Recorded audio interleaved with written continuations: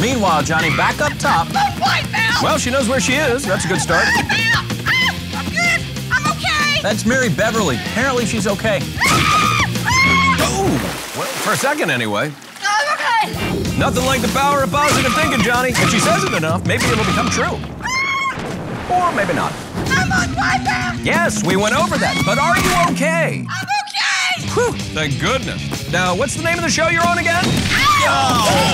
Wipeout, that's right. I'm okay. John, honestly, everybody's doing okay out on the course. She's okay. She's fine. Couldn't be better. She's peachy. Oh, she's just dandy. And there's nothing wrong with A Hooker from Reno. Excuse me, what'd you say? And there's nothing wrong with A Hooker from Reno. Annie Hooker, John, that's her name. Why, what do you have against the name Annie? Nothing. My bad. Oh, oh! big wipeout. But still, nothing wrong with her. Oh!